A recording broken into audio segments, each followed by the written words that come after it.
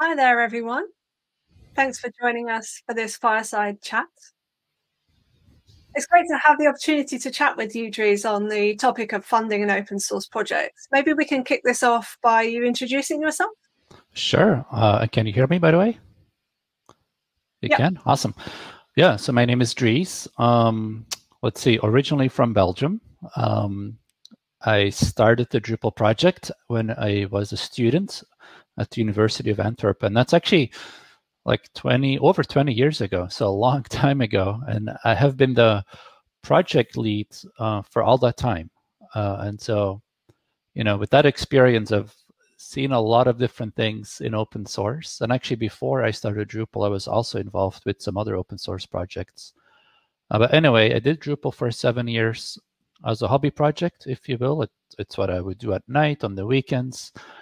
Uh, and then, you know, eventually ended up starting uh, Acquia. So I co-founded Acquia, and Acquia is a technology company, and um, it's really born out of Drupal, born out of open source, uh, with the goal to make large organizations successful uh, with Drupal, and we do that by providing a variety of uh, products and services. And today, we've you know grown beyond Drupal, if you will. It's not the only thing that we do. Um, you know, we're contributing to Mautic as well, for example, today. Um, and so, yeah, involved with open source in a variety of different ways. So that's kind of the, I guess, short or medium length intro. I'm not sure. that's great. Yeah. Um, and so, yeah, my name is Ruth Cheesley. Uh, for those of you who don't know me, I'm based in the UK and I'm currently project lead for Mautic, so I've been a Mautic user since the really early days. In fact, I still keep coming across issues that I raised back then on GitHub. Um, I used it as a as a marketer and a digital agency and built a business around uh, Joomla and Mautic. So before I got involved in Mautic, I was a contributor in the, the Joomla project and I was on the community leadership team for several years with the Joomla project. So I'd say I've probably been involved in open source around about 10 years, something like that. I also came across it when I was at uni and couldn't afford to pay for all these tools that I needed for my laptop and found lots of open source tools, didn't know what open source was, and just kind of fell into it, I guess, uh, mostly by having a problem and then people saying, why don't you help be a part of the solution? So that's how I kind of became a contributor, but through a non traditional route, so not through the developer route. So yeah, so it's great to be able to chat a bit about funding and open source. I mean, from my perspective, it's a very topical thing in Mautic at the moment because we're exploring different ways that we can raise and use the funds in the project. So maybe we could start by talking a bit more generally about funding and open source. Do you think there's a problem from your perspective as someone who's been involved over many years? Um, yeah, I do actually. Um, it's funny because I feel like you know, open source has been around for a very long time, obviously. And in my mind, in many ways, open source has won, if you will. Like, you know, every pretty much every organization uses open source, right? So it's an incredible success story. However, the one thing that remains really hard is, you know, making open source sustainable, and obviously funding is kind of at the at the core of that. And um, and I think it's one of the biggest unsolved problems for open source. Like, and to the point that I believe that if we can really figure out good funding and sustainability models for open source, um, that it could kind of be like the last hurdle, you know, for open source in the sense that if we had good funding mechanisms, we I think open source could take off in a way that we, you know, probably can't even imagine you know like and it's already so successful despite uh, some of these uh, funding challenges. So you know i think it's what's between today and open source literally taking over the world you know? And so yeah i think it's really important. What about yourself ruth? Yeah i mean i think something that I, that i've really noticed and learned from myself over the last year is that not everyone has the luxury of free time. Mm-hmm you know that's a real luxury that people have it, and a lot of people don't and so if we rely on open source contributions only being done by people who are doing it in their free time, firstly, we're excluding a lot of people who may be able to contribute if they were able to be recompensed in some way for their time. Um, particularly people who have caring responsibilities, people who maybe aren't able to spend their spare time um, contributing to open source but also I feel like that would uh, give us an opportunity to reach more people, people mm-hmm. who may then get more of a sense or an understanding of open source and be interested in finding out more and potentially contributing. But it's a thorny subject, you know, um, paying people to contribute in open source. And there's lots of different ways that that could be done directly or by companies hiring people to actually work in the project full time or part time. I know that's something that has been explored at Acquia with the Drupal acceleration team, isn't it? Yeah. Um, you know, when we started Acquia, we, you know, we really felt like we wanted to help accelerate Drupal. And we also felt like for Drupal to become really successful, uh, we needed several people that were full time, you know, uh, hmm. because as much as we obviously love, you know, volunteer contributors are very important. We can talk about that in a bit if you want. Um, it can also be hard for a certain class of problems uh, to be solved by you know just you know volunteers, right? Like some projects that we do at Acquia with the Drupal acceleration team or our team of full-time contributors, um, you know, take months of like four or 5 mm-hmm. people and uh, could be very hard to do um, through volunteers that may be able to, you know, spend or you know give a couple hours a week. Like it would literally take years, if you will, to get certain things done. And so the model of combining, uh, you know, volunteers with paid contributors, I think, is a great model. But as you pointed out, it's not without controversy.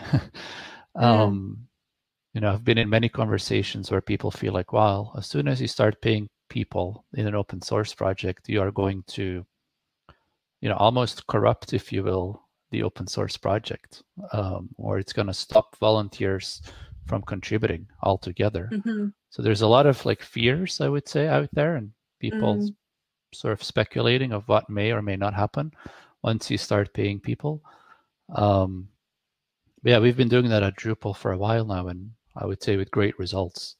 You know, I think we continue mm-hmm. to have quite a few volunteers, uh, but also, um, you know, quite a few paid contributors today.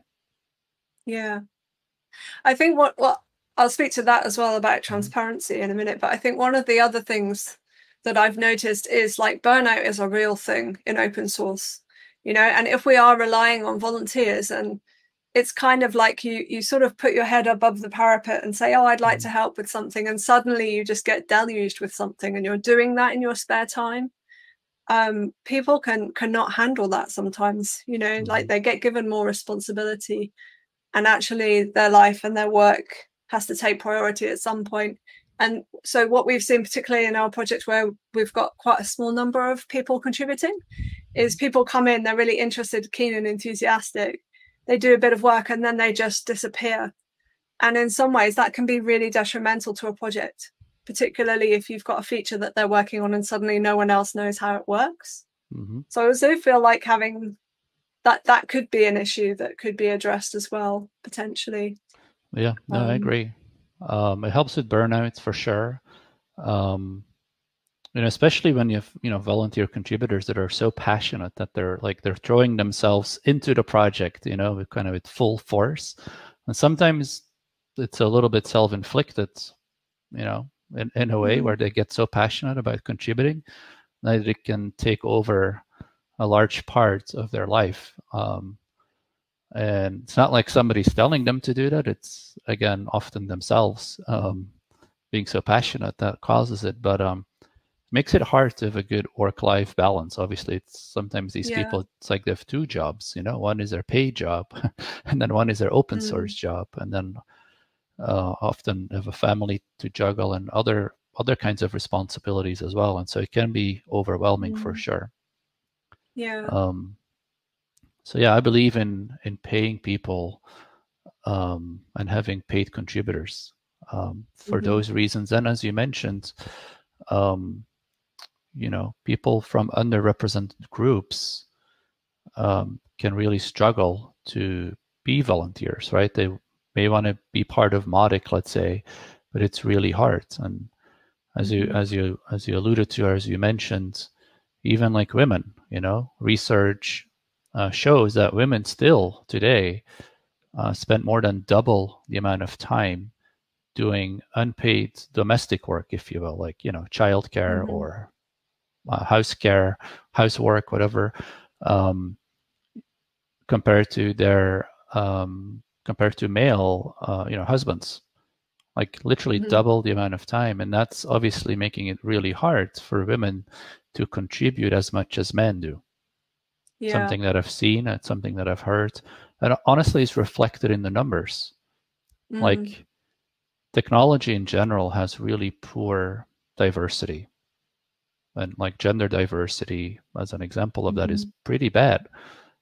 But in open source mm-hmm. that's even worse you know? It's even worse compared to um, you know in software companies for example. So open source is a real diversity issue.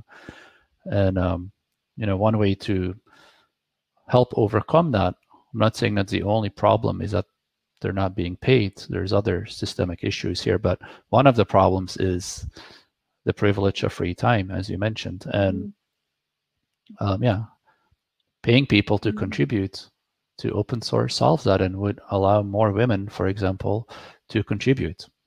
You know, which would obviously be beneficial um, to the project of better diversity. But yeah. that's just one example. It's not limited to gender diversity. Same thing with geographic diversity, etc., etc. So, anyway, a lot of great reasons mm-hmm. I think from yeah, and I feel the diversity. issue of like, sorry, I was no, going to say, yeah, I feel the done. issue of like um, concerns about corrupting the project. A lot of the time, that can be addressed with transparency.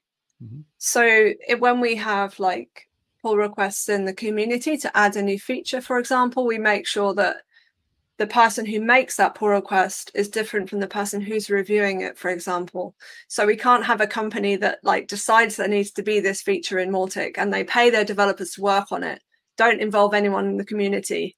Like there's always mm-hmm. that check of having other people in the community to review those. But also if we're paying people in our community to work on things, that now all goes to our open collective. So there's financial transparency there. Our initiatives have all got a budget if we mm-hmm. have tasks that we need to bring in a contractor, the community, the whole community can see the tasks that are being paid for and the money and the budget that's available. And I feel like that's sort of like where we need to go if we're mm-hmm. going to bring finance into open source to give people the confidence. Yeah, I mean, I think that's well said, actually. Um, I think that transparency is, is key. And actually, to sort of double click on that, if you will. I think the reason that is key is because if you mix paid contributors with volunteer contributors, if you mix business with vol- you know volunteers, right? I think the volunteers are okay with that as long as they feel like there is equality and mm-hmm. justice, mm-hmm. if you will, and as long decisions are made in the public interest, in the interest of the project as a whole, right? Like if yeah. corporations get involved and they and decisions all of a sudden are made only in the corporate interest, but not in the interest of uh, the other stakeholders, like the volunteers themselves. That's, I think, when the people get angry and when it starts to break down, right? And so the transparency is key, but also sort of the right processes so that you keep mm. that um, you know, sort of unbiased decision making, always acting in the best interest of the project as a whole. As a whole, and sometimes that goes against the interest of the companies that are involved. Mm. Sometimes it also goes against the interest of the volunteers that are involved. But on a whole, it needs to be balanced and fair, right? And so that's yeah. So that's why I totally agree with you when you say that that transparency is key. But obviously, you could have transparency and a lot of bad decisions. that yeah, that's, that's very but like, true. uh, but like, yeah. you, you, need to have the right decision-making systems. Like, like you mentioned, like the person contributing the code is not necessarily the person uh, hmm. approving mm. or committing the code, or you know, whatever you want to call it. Yeah.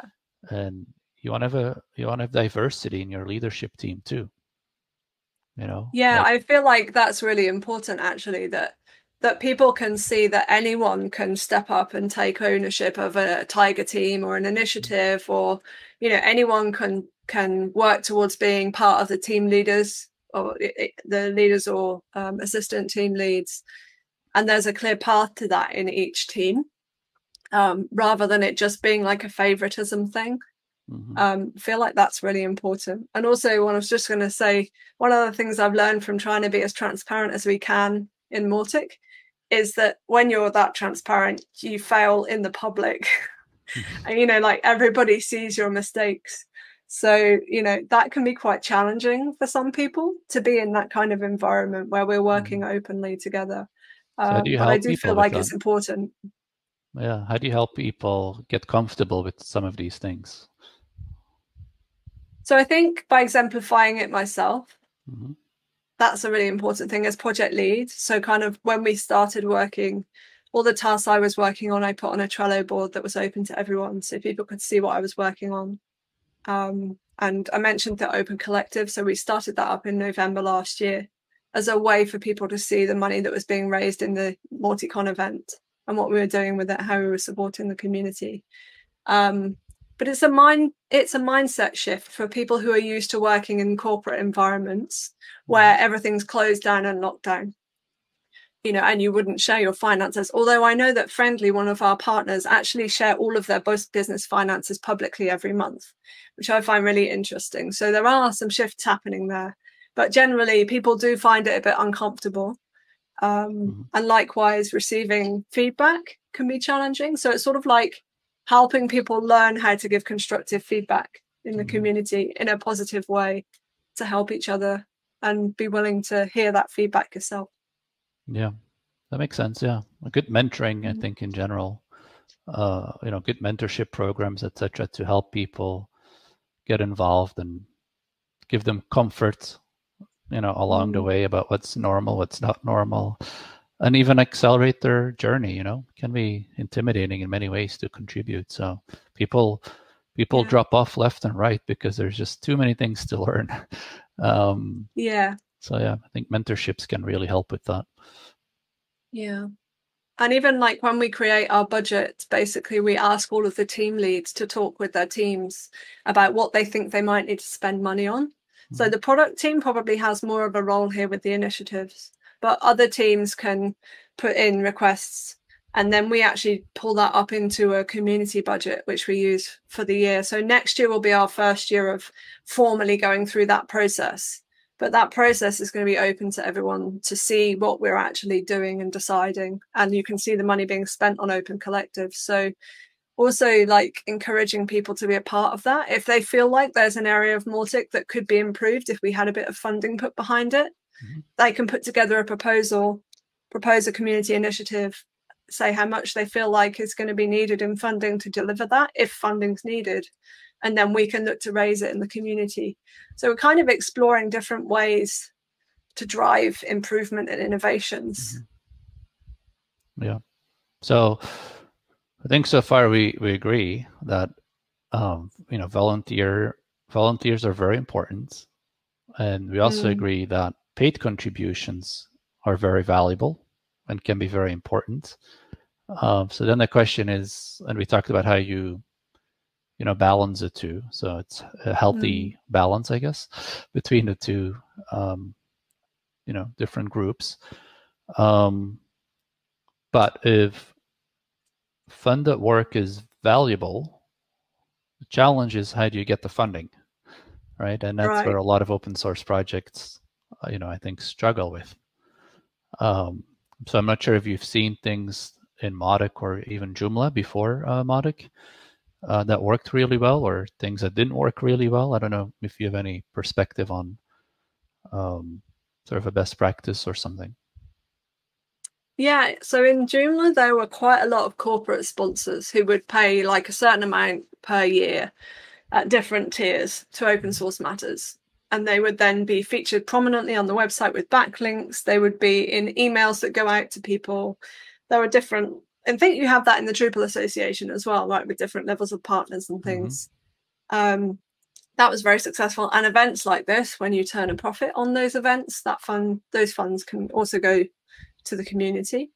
Um, and we've recently implemented that in the Mautic community. So we have the ability to sponsor through GitHub sponsors as an mm-hmm. individual or an organization, and also through our Open Collective directly. And we've got our partners program, which is relatively new. So you have to be a financial sponsor to be a partner and to be active in the community. You can't do one and not the other. Mm-hmm. So that's kind of how we've been investigating that in Mautic, um, encouraging people to support us, but also having that uh, program where we have both sides of the importance for our contributions, finances, and being active in the community. And I mean, so far it's working quite well. Mm-hmm. And we have several partners who signed up, and we've got one more who'll be joining us next month. All right, so, that's awesome. Yeah, yeah. Um, so yeah, that works well, and we use something similar in the Drupal project. Um, maybe another tip um, something that I've seen and actually experienced myself is uh, let's say you're an individual in the Mautic community and you want somebody to sponsor you mm. specifically, right? How do you get sponsorship? so I can tell you two quick stories um, and then kind of make a conclusion, I think. Um, so at some point, I think it was 2000, I'm going to say five or something, a while ago, over 15 years ago, um, you know, Drupal.org, it was, you know, obviously our website, uh, stopped scaling. And we had so much traffic to Drupal.org that I, I needed to buy a new server. And I didn't have any money. I was a student, like I literally could not afford to buy a new server. And um, at some point, the site literally crashed because there was so much traffic and it's kind of dead in the water almost.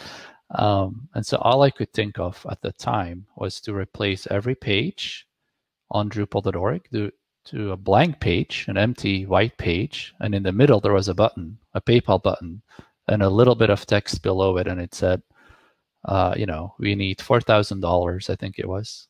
Uh, and once we have $4,000, we will buy a new server and the site will be back. And um, something amazing happened. Like within 24 hours, people had contributed $10,000 in funding. and I changed my PayPal password to be like this long. And um, PayPal blocked the account for suspicious traffic because the first three or four years of Drupal, I've gotten like $50 in funding total, you know, and all of a sudden in like 24 hours, I get $10,000. Anyway, um, Sun Microsystems um, at the time a famous company uh, have been acquired by Oracle, I believe.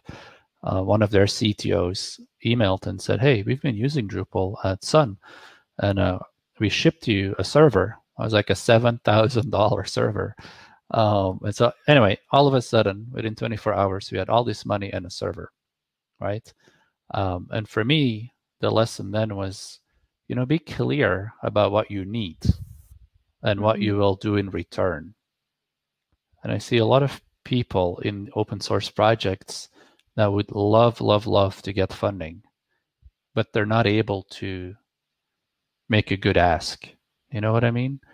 And uh, we've seen it recently with another example in the Drupal community, uh, where you know Matt, one of our developers, needed funding to do something, and again, for the longest time, he got zero funding despite a lot of people using his mm-hmm. um, you know tool. Like it's a it's a tool that the Drupal community uses uh, quite a bit to help with migrations. Anyway, it doesn't really matter for this audience, but um, at some point he got really specific and he said, "I need," and I forgot what it was. You know, I need two thousand five hundred dollars, and in return I will do this, mm-hmm. and you'll get it in I don't know two weeks you know, it's like think about it as a proposal almost that you put out. Like you do this, Here's specifically what I need and how I'm going to use it, the money, and here's what I will give to you and the rest of the community in return, and be very precise.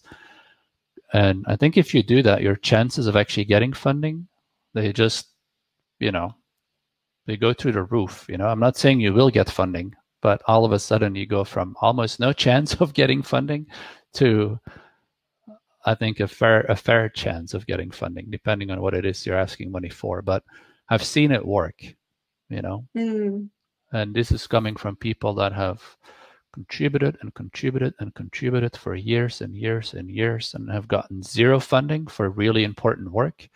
And it wasn't until they made a strong, specific ask that they actually got the funding. So, anyway, that would be my tip, if you will, my best practice uh, if you are an individual looking to get paid to work on Mautic or any other open mm-hmm. source project. Yeah, and also we have some interesting options available nowadays that weren't available before. So individuals, maybe developers, can be sponsored themselves on GitHub sponsors. And potentially we could sponsor them from Mautic you know? So if there right. are developers who we know do really great work in the community but they're going to have to scale back what they do because they have to focus on their paid work that's an option we are exploring at the moment is well could we pay for them to do a certain number of hours a week to help us with triaging and code reviewing our pull requests so we can get more features and bugs fixed in each release? Because that's one of the biggest blockers we have you know? So yeah i mean that's tools are getting option. better which is great the right? tools are, are getting better yeah. yeah yeah yeah i think we're also um, looking at mm-hmm. i don't know if you've heard of the FundOSS project but that's something that's really exciting that we're involved in at the moment um, i've heard about it project. but i don't know enough about it so yeah it's a really interesting project basically they've secured a pool of funding mm-hmm. $75000 and they've invited 55 open source projects to join. And all of those open source projects have a landing page where they can encourage people to contribute. And as a project, you'll receive all of those funds. It's all done through Open Collective, so it will be transparent, like I was saying earlier. But then, if the, the organizations who get the most contributors, not necessarily the most amount of money raised, but the most amount of people backing them, will receive more of that $75,000. So it's kind of a, it's called democratic funding. Um, and they're trying it out in open source. It's come from other uh, communities and it's the first time they're trying it here. So it's not perfect. I mean, there's some, some ways that it's not great in open source world mm-hmm. really, because you're competing projects against each other and the more popular ones will will win and really mm-hmm. you want to fund the smaller ones but it is also right. exposing some of those smaller projects that you may never have seen before that you can really easily back with like 5 10 20 mm-hmm. dollars mm-hmm. or whatever so i think that's really interesting that they are exploring other models and other ways to fund things yeah no it's awesome yeah i think that's exactly what needs to happen you know as i mentioned mm-hmm. in the mm-hmm. beginning i think figuring out the funding and sustainability models and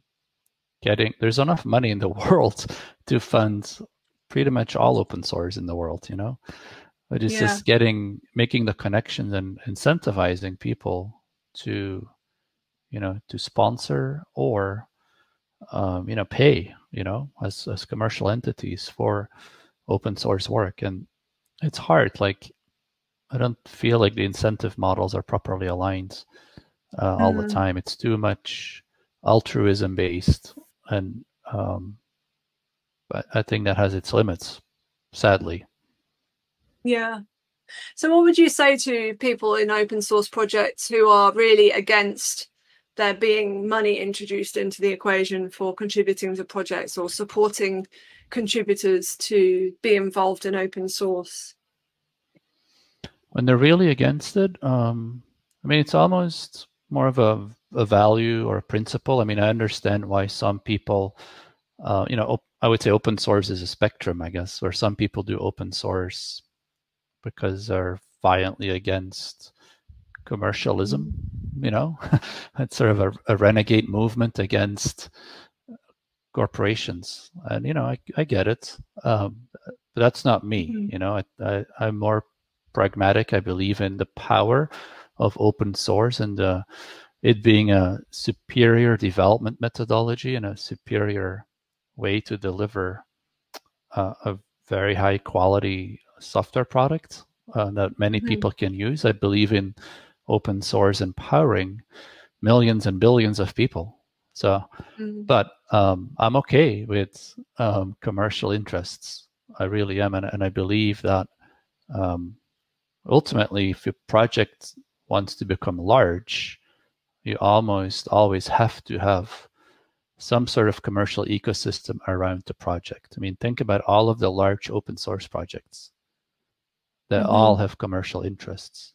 I can tell mm-hmm. you that Drupal wouldn't be where it is today if it wasn't for the fact that we have a large commercial ecosystem, you know, mm-hmm. with thousands of Drupal shops and hundreds of thousands of developers getting paid to build Drupal sites. I'm sure, you know, I'm sure it was the same in, in Joomla.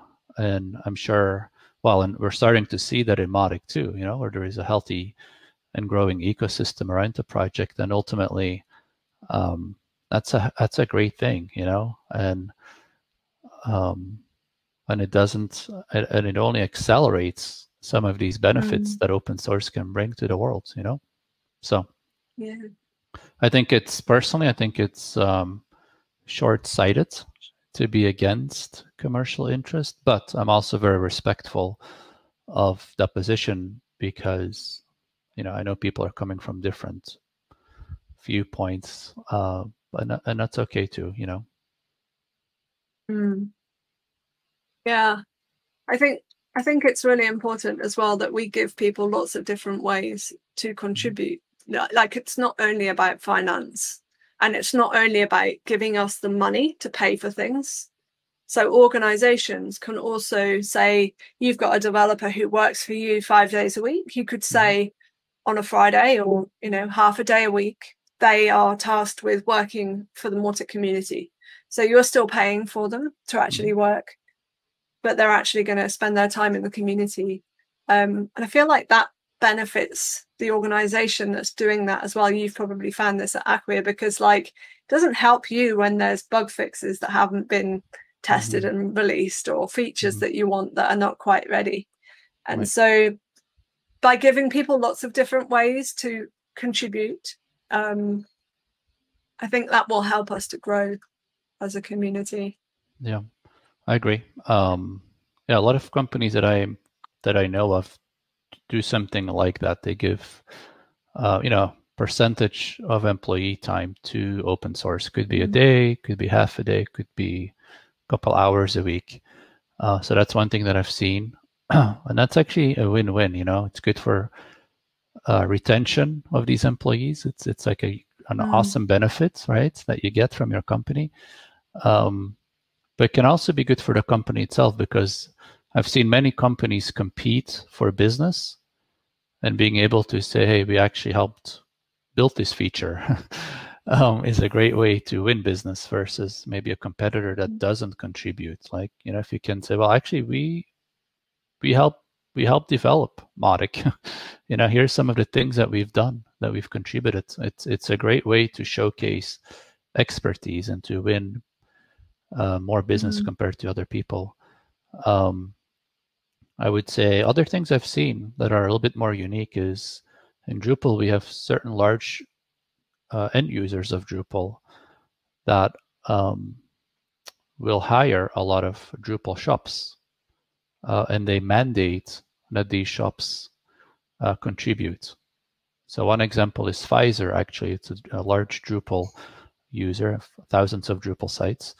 They will only work with development companies that have a proven track record of contributing to Drupal. And, yeah. and that's awesome, right? Because now it's the end user between quotes the customer that's pushing contribution from its development partners. And um, a lot of companies want to work with Pfizer, and you know, in order to do so, you have to contribute. You know, so that's cool. And yeah. and I've seen the same thing happen in other organizations, like the state of um, uh, the state of Georgia in in in the U.S. You know, like a, a obviously a a government organization doing the same thing. You know, they're demanding their vendors, their shops to contribute. Otherwise, they can't even qual uh, they can't even submit, respond to an RFP, uh, which is awesome. You know, so it's a, a, very cool, unique new thing that I've seen in the last couple of years, and I, I hope that we'll see more of that. And and it's smart to do that because as a as an end user, as a customer, it, there's two benefits at a minimum. One, um, you're giving back to the project, which obviously, if you make a big strategic investment in, let's say, Mautic, you want Mautic to be healthy and you want Mautic to receive contributions, right? So that's that's good. But the second reason is also smart in that, like, by working with organizations that contribute to Mautic, you know you're working with some of the best organizations in the world, you know, versus people that claim they can do Mautic but maybe have barely done any Mautic work, right? So you get actually a better quality product in return. Like, you know, you're more likely to succeed by working with organizations that contribute. So uh, it's a great strategy, and we should encourage more end users to to work with those that give back. Yeah, that would be great if everyone who puts out any kind of tender for Mautic related work stated that they had to be a contributor to the Mautic project in order to apply. Certainly in the community, when people are asking for help or hosted services or things like that, we're now much more strong with promoting our partners. Mm-hmm. A, because we know that they do a good job, but also because they're actually helping keep the community going. You know, they're mm-hmm. contributing mm-hmm. in meaningful ways. Right. And so from our perspective, why wouldn't you not promote those people? Because it results in there being more energy in the community if they grow and thrive. Yeah, that's so, right. Like Mautic benefits from driving all business to those that give back. Yeah, and absolutely. That's, that's um, sort of a very black and white statement, but I do believe in it. You know, like let's say, let's say somebody's going to spend a hundred euros on Mautic. You want the hundred euros to go to a contributor, frankly, because when that contributor makes a 100 euros, they may give back two of the 100 euros or five, I don't know, it doesn't matter, versus the 100 mm-hmm. going to somebody that doesn't contribute ever, right? And then exactly zero goes back to Mautic. It's like a, it's like a, I call it the open source dividend um, for those mm. that, uh, you know, understand a little bit about dividend and investing, but you want to invest in those things that, you know, create a little bit of a dividend for the open source community. Yeah. And so absolutely. Yeah, that's something yeah. you can control as an open source project by promoting those that give back. Yeah. Yeah, yeah. Great. Well, we've got about 20 minutes left. So usually at this point we go to questions.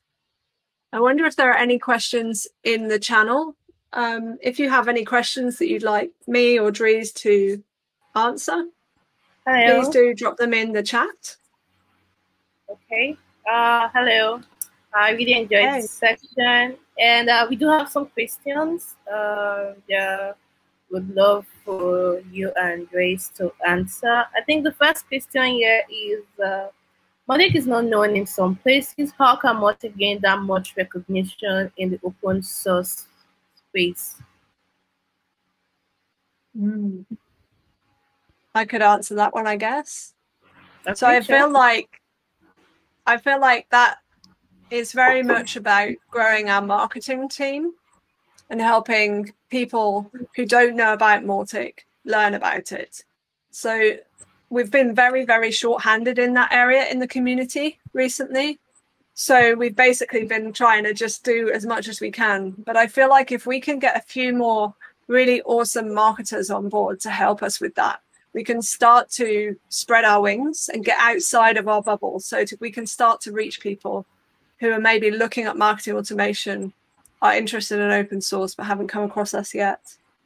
Um, and I mean, I found going to the FOSDEM event has been really great for raising awareness of people who are big fans of open source but have never heard of Mautic because they all hang out at that event, European generally anyway. They all hang out at that event and last year it was um, this year sorry it was virtual. The year before that it was in person. And that was my last in-person event before the covid pandemic hit. So do you have any thoughts on that question Dries? i think that's a good answer. I would have something to add.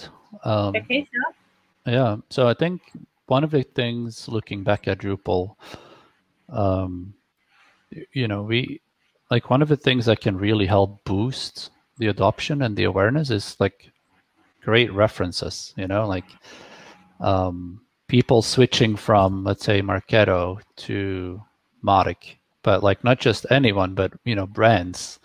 Um, like an example in the Drupal project was in 2009, uh, President Obama, um, you know, adopted uh, Drupal for WhiteHouse.gov, you know, and replaced some proprietary piece of software. It was huge, you know, and everybody talked about it and it gave us a lot of credibility given the scalability needs as well as the security needs of you know whitehouse.gov right so these are the kinds of things you want i think in mautic like mm. because if you are a marketer a cmo or even maybe a cio and you have to decide do we go with marketo or mautic you need those examples to go with mm. Mautic. You know what I mean? Like you need to feel like other large organizations, my size in my industry, or even bigger than I have, mm. than my organization, have successfully um, switched. Um, and so that's something that obviously a marketer can help promote, which is what Ruth is suggesting. But everyone that's doing um, making money with Mautic, the, the Mautic shops or Mautic agency, I'm not sure what what exactly they're called.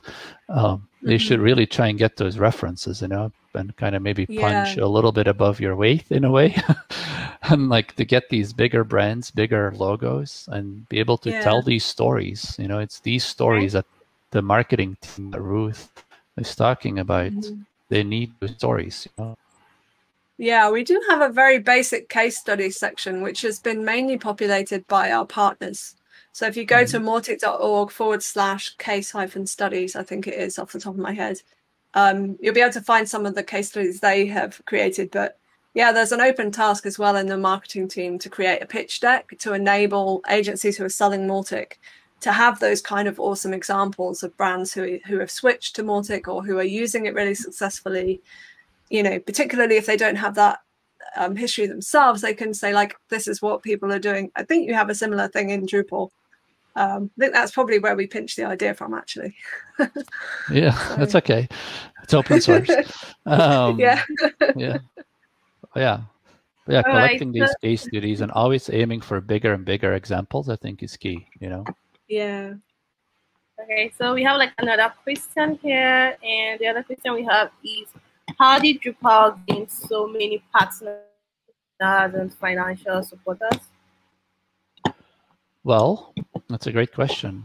Um, first of all, it took a while, but ultimately, I think, I think a lot of partners are, you know, coin operated for lack of a better term. Like they felt they could make money with Drupal. You know, that's the best way to attract a lot of uh, partners. So, um, and then once you have a lot of people making money with Drupal, um, it's about you know converting them to become contributors. And um, that takes a lot of uh, different uh, efforts but like some of the things that we have done that Mautic is starting to do as well because um, we, we you know we talked about these things in the past but um, is we promote those that give back you know? Mm. and the thing is everybody is after the same. Every Drupal company every Mautic company is after the same which is business. You know, they want to get leads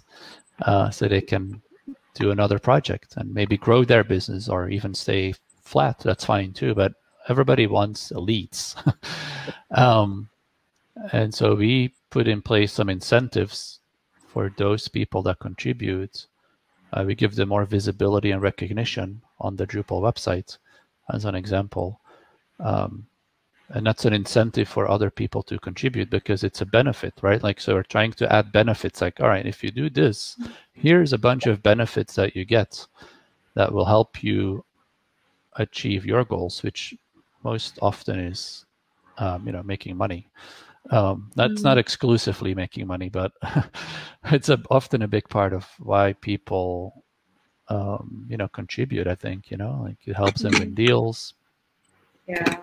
Um, so, you know, I think it's make it interesting for people to be great businesses with Mautic, you know, make it a project that they, you know, like like Marketo to Mautic replacements. I, I feel like I'm kind of hammering on Marketo, and it's definitely not just Marketo out there, but you know, like re replacing mm-hmm. Marketo Marketo instances with Mautic should be like a win-win for the for the customer mm. and for the agency kind of thing, and you can do a lot of those.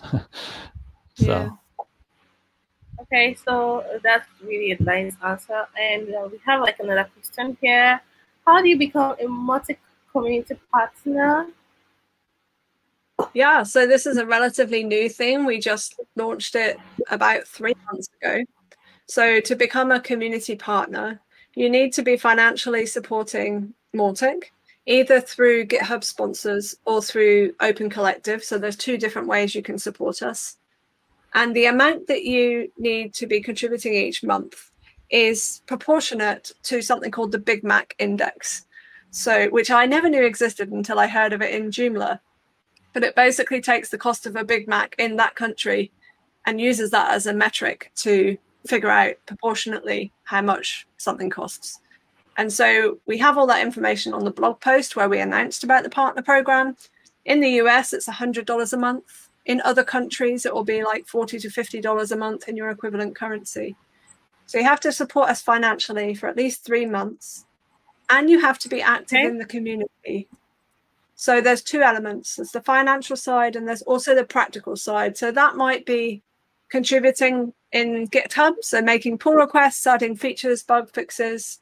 It could be helping people on the forums. So one of our partners, their activity is just responding and being helpful on the forums.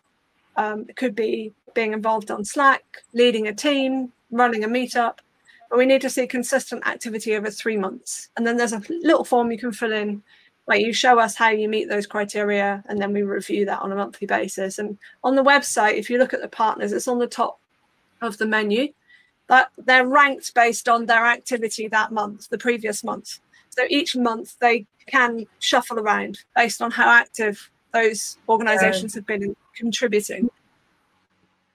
Great, great. Um, okay, that's really nice one. Uh, how do I contribute to Mautic? Since you had mentioned about um, needs to contribute to be part of the Mautic community partner, mm-hmm. so how does someone contribute to Mautic? Yeah, so I mean, financially, I just mentioned Open Collective GitHub sponsors. You can do that individually and FundOSS as well at the moment. In terms of contributing practically, um, there are lots of different ways you can do that. If you go to contribute.mautic.org, that's our community handbook. And there's a section in there that says um, contributing to Mautic, I think. Gives you a bit of information about how you can contribute to Mautic in the different roles that we have and the different teams. And there's also a community room in this event. So you can also hop in there and ask any questions there. And there's a few other resources there um, teams are all based on Slack. So if you join Slack at mautic.org slash Slack, I have to say that slowly because it's quite quite a mouth turner, isn't it? Um, you'll be able to join the teams, and they all start with T hyphen and then the team name. So it's also a good idea just to pop into the team and join a team meeting, for example. Great. Uh, okay, so the last question, um, because we have like another section coming up how opportunity what opportunities are there in Mautic at the moment for paid contributions? Yeah, so we have a couple of tasks open at the moment on GitHub. If you look in the issues, you'll see that there's a label called bounties. Okay. So you can filter by that, and that will tell you any issues that have open uh, bounties. At the moment, I think there's around about $500 worth in total one of those one of those issues is $250 in itself. Um, we've also got some tasks open on Upwork at the moment for helping with the Grapes.js builder because we have a couple of tasks that community volunteers haven't been able to get around to working on. So if you have experience with developing with Grapes.js, you could have a look at those. and also some of our initiatives. If you come to the keynote tomorrow, I'll be mentioning some of the initiatives where we need more help, and we have funding available, thousand dollars for each initiative per year, um, to work on tasks relating to that. So that's another opportunity for funded work. And also working with any of the agencies. Every single agency I've spoken to, particularly our partners, are super, super busy and would love work, you know, people to help work with them. So it's also worth reaching out to them if you're looking for paid employment where you can contribute to the community. Okay, great. Uh, that's awesome. that's it. We've um, answered all the questions. Um, okay, so uh, thanks, okay. Ruth and Dries. I, I don't think I pronounce that well. Dries. Dries, yeah, it's good enough. All right, and I'm sure this section was very helpful to people who wants to contribute to open source and you know looking for different ways to contribute. Our companies who are part of open source and looking for ways to sustain the open source project and how to go around mm-hmm. it. So I'm pretty sure this section was very very useful to them and me as well. So all right. Uh, Thank you very much. Awesome. all right. Okay. bye. Around. Oh, All right. Bye. Bye. Bye.